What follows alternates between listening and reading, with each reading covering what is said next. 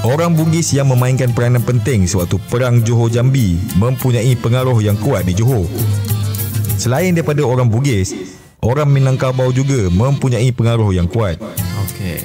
Orang Bugis dan Minangkabau percaya dengan kematian Sultan Mahmud II, mereka dapat mengembangkan pengaruh mereka di Johor.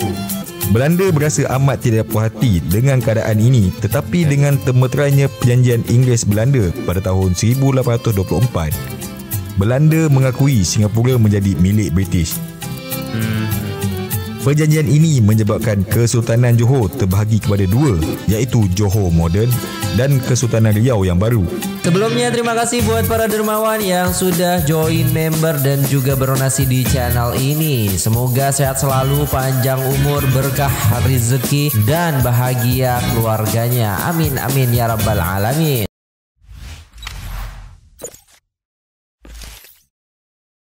Assalamualaikum warahmatullahi wabarakatuh. Jumpa lagi dengan saya guys Cak Mujib. Gimana kabar teman-teman semua? Semoga sehat selalu dalam lindungan Allah Subhanahu Wa Taala. Dijauhkan dari segala mara bahaya Malapetaka bencana dan bala Serta berbagai macam penyakit. Amin amin ya rabbal alamin. Alright guys Kali ini kita akan reaksi sebuah video Requestan daripada teman-teman sekalian Yaitu dari Shazmal Iman guys ya. Linknya di deskripsi. Teman-teman boleh nonton video fullnya. Dan di sini membahas tentang asal usul kesultanan Kesultanan di Johor, Kerajaan Johor Riau Lingga. Ya, sangkut paut Johor dengan Riau ini sangat-sangat erat sekali ya guys ya. Riau ini di Indonesia dan Johor ada di Malaysia guys ya.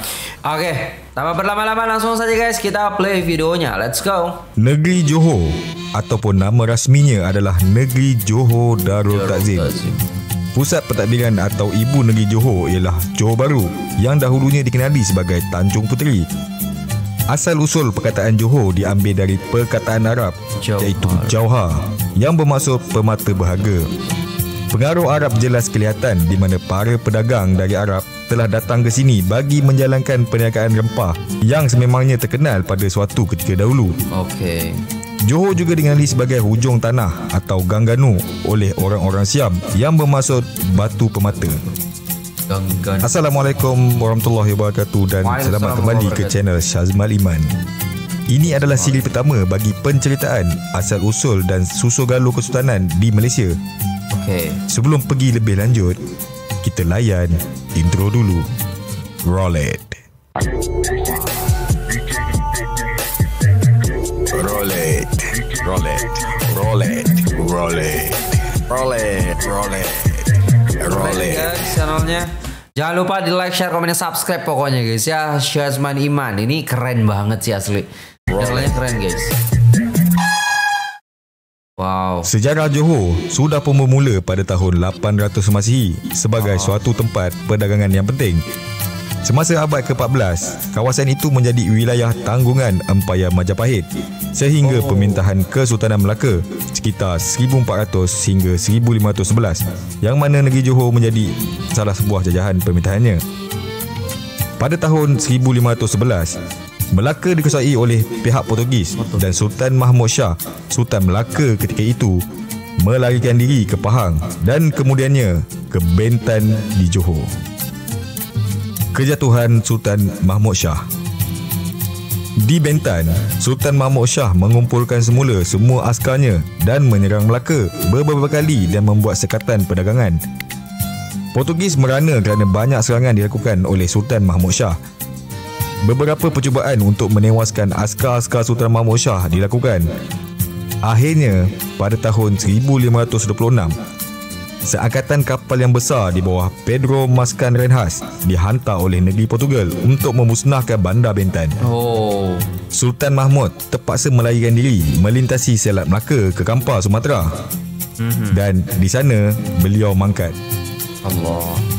Baginda meninggalkan dua orang putera iaitu Tengku Muzaffar Shah dan Tengku Alauddin Riayat Shah. Muzaffar Shah seterusnya menjadi Sultan Perak manakala Alauddin Riayat Shah menjadi Sultan Johor yang pertama. Kesultanan Johor juga dikenali sebagai Kesultanan Johor Riau Lingga. Perang Tiga Segi Sultan Alauddin Riwayat Shah menubuhkan sebuah kota di Johor Lama yang terletaknya di tebing Sungai Johor dan dari situ terus melancarkan serangan ke atas kedudukan Portugis di Melaka. Baginda sentiasa bekerjasama dengan saudaranya di Perak dan juga dengan Sultan Pahang untuk menawan semula Melaka. Di sebelah utara Sumatera pula, pada masa yang sama, Aceh mula mengembangkan pengaruhnya untuk menguasai Selat Melaka. Selepas kejatuhan Melaka kepada Portugis yang beragama Kristian, pedagang-pedagang Muslim mula menjauhkan diri daripada Melaka dan singgah di Aceh. Okey. Melihat keadaan itu, Portugis merasa tercabar kerana hasil perdagangannya semakin kurang. Portugis dan Johor sentiasa berperang menyebabkan Aceh melancarkan serangan ke atas kedua-dua belah pihak. Kebangkitan Aceh di Selat Melaka mengakibatkan Johor dan Portugis berdamai dan bekerjasama melemahkan Aceh. Akan tetapi, selepas Aceh menjadi lemah, Johor dan Portugis kembali berperang. Pada abad ke-17, Belanda tiba di Asia Tenggara. Belanda bukanlah sekutu atau kawan Portugis dan ini menyebabkan Belanda bersekutu dengan Johor untuk memerangi Portugis di Melaka. Akhirnya, pada tahun 1641, Belanda dan Johor berjaya menewaskan Portugis. Melaka kemudiannya menjadi milik Belanda sehinggalah perjanjian Inggeris-Belanda pada tahun 1824 ditandatangani.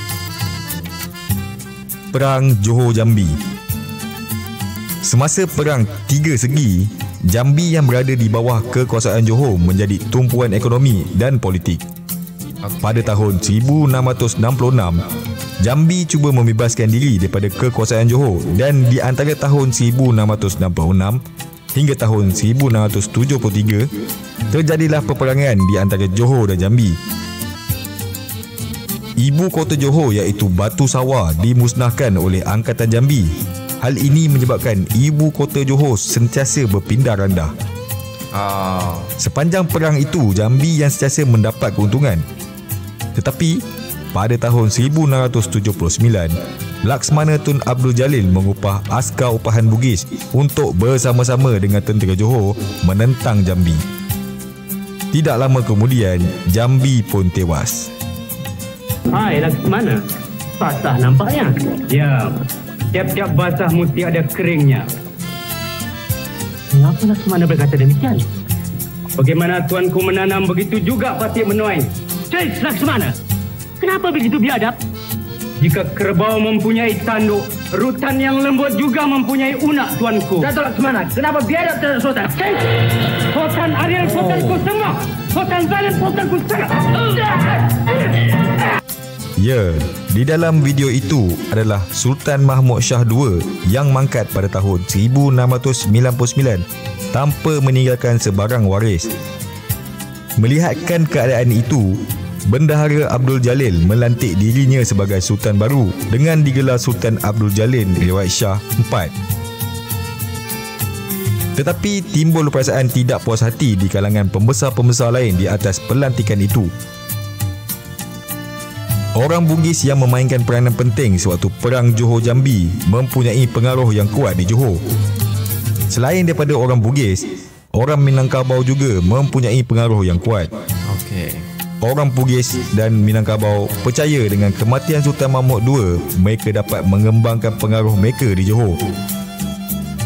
Di kalangan orang Minangkabau terdapat seorang putera dari Siak iaitu Raja Kecil yang mengaku dirinya sebagai waris tunggal Sultan Mahmud II. Raja Kecil menjanjikan kepada orang Bugis bahawa sekiranya mereka menolongnya menaiki tahta, dia akan melantik ketua orang-orang Bugis sebagai Yam Tuan Muda Johor. Pada masa itu, orang-orang Bugis telah memberikan alasan untuk pergi ke Selangor bagi mengumpulkan orang-orangnya sebelum melancarkan serangan. Walau bagaimanapun, Raja Kecil telah melancarkan serangan terlebih dahulu setelah terlalu lama menunggu kedatangan orang-orang Bugis. Setelah Raja Kecil berjaya menduduki tahta Johor, orang-orang Bugis telah datang menuntut janji untuk dilantik sebagai Yam Tuan Muda. Permintaan ini telah tidak diperkenankan oleh Raja oh. Kecil kerana orang-orang Bugis tadi telah tidak memberikan bantuan sebagaimana yang diminta oleh Raja Kecil. Aha. Tidak puas hati dengan pelantikan Raja Kecil, bekas bendahara Abdul Jalil meminta Daim Parani, ketua orang Bugis untuk menolongnya mendapatkan semula tahta. Permintaan ini telah dipersetujui oleh orang-orang Bugis kerana mereka juga kecewa kerana tidak dapat menuntut jawatan Yam Tuan Muda. Pada tahun 1722, Raja Kecil terpaksa meletakkan tahta kerana pengaruh Bugis. Anak bendahara iaitu Abdul Jalil kemudiannya dilantik menjadi Sultan dengan gelaran Sultan Sulaiman Badrul Alam Shah. Sultan Sulaiman seorang sultan tetapi tidak mempunyai kuasa kerana Daim Merewah daripada orang Bugis yang memegang kuasa sebagai Yam Tuan Muda. Pada tahun 1818, Sir Stamford Raffles dilantik menjadi Gubernur di Bengkulu, Sumatera dia percaya bahawa British perlu menubuhkan sebuah penempatan yang baru di Asia Tenggara sekiranya mereka ingin bersaing dengan Belanda. Walaupun banyak bantahan diterima dalam syarikat Hindia Timur Inggeris, tetapi Gubernur British di India menyebelahinya. Dengan persetujuan Gubernur, beliau memulakan ekspedisi mencari penempatan baru. Raffles tiba di Singapura pada 29 Januari 1819 dia menjumpai sebuah perkampungan Melayu kecil di muara sungai Singapura yang diketuai oleh seorang temenggung Johor. Pulau itu ditadbir oleh Kesultanan Johor tetapi keadaan politiknya tidak stabil. Waris Sultan Johor iaitu Tengku Abdul Rahman dikuasai oleh Belanda dan Bugis. Raffles kemudiannya mengetahui bahawa Tengku Abdul Rahman menjadi sultan hanya kerana abang sulungnya Tunku Hussein tidak ada semasa ayahnya meninggal dunia. Mengikut adat Melayu, bakal sultan perlu berada di sisi sultan sekiranya ingin dilantik menjadi sultan. Sedar bahawa dia boleh memanipulasikan keadaan ini, Raffles telah menyokong Tunku Hussein untuk menjadi sultan sekiranya Tunku Hussein sanggup membenarkan British membuka pelabuhan di Singapura dan sebagai balasan British akan membayar wang tahunan kepada Tunku Hussein. Perjanjian ini menjadi sah pada 6 Februari 1819. Dengan bantuan Temenggung, Raffles berjaya menyeludup Tunku Hussein yang ketika itu tinggal di Riau untuk kembali ke Johor. Belanda berasa amat tidak puas hati dengan keadaan ini tetapi dengan termeterainya perjanjian Inggeris-Belanda pada tahun 1824 Belanda mengakui Singapura menjadi milik British. Perjanjian ini menyebabkan Kesultanan Johor terbahagi kepada dua iaitu Johor moden dan Kesultanan Riau yang baru. Pada tahun 1855, di bawah perjanjian di antara British di Singapura dan Sultan Ali dari Johor, kuasa meminta Johor diserahkan kepada Raja Temenggung Tun Daeng Ibrahim dengan Mua masih lagi di bawah kekuasaan Sultan. Mua kemudiannya diserahkan kepada Temenggung Ibrahim pada tahun 1877.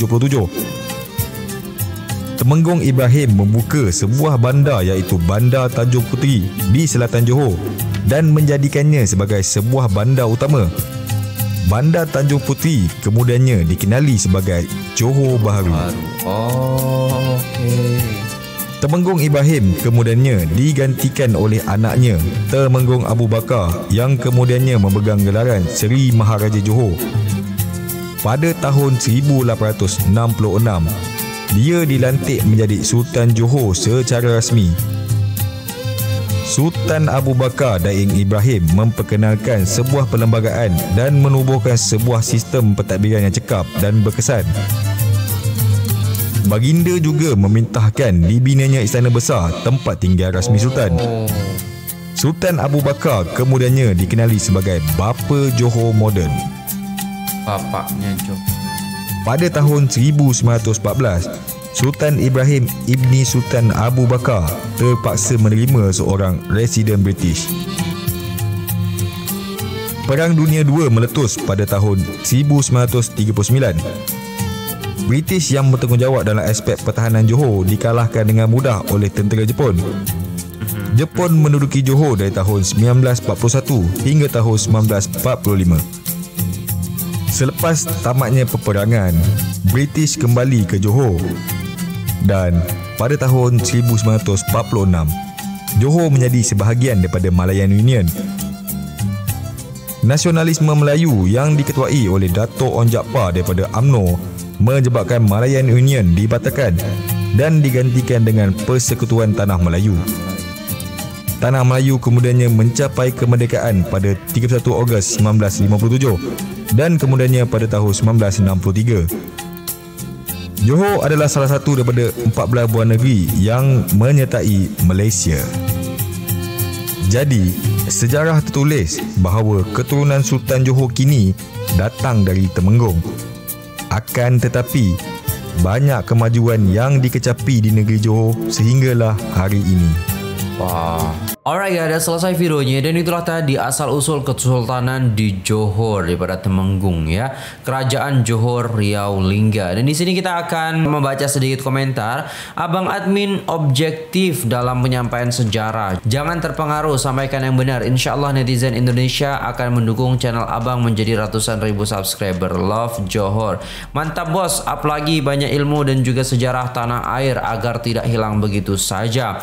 Hampir semua keturunan bangsawan raja-raja serta pembesar di seluruh Nusantara adalah dari satu keturunan yang sama sejak kerajaan pertama di Nusantara hingga uh, Sriwijaya hingga Majapahit sehinggalah raja-raja sultan-sultan Melayu yang ada sekarang.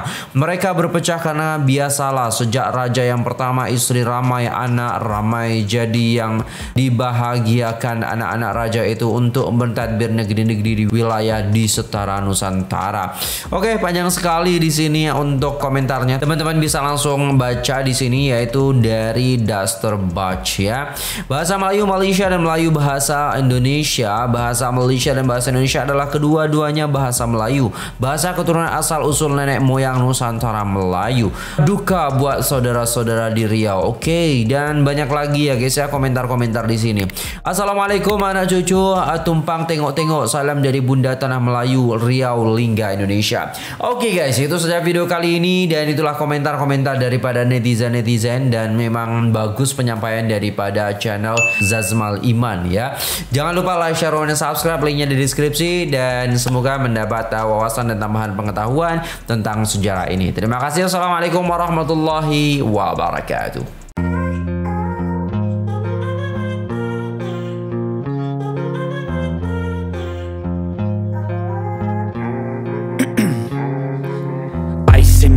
Veins I've been driving this train.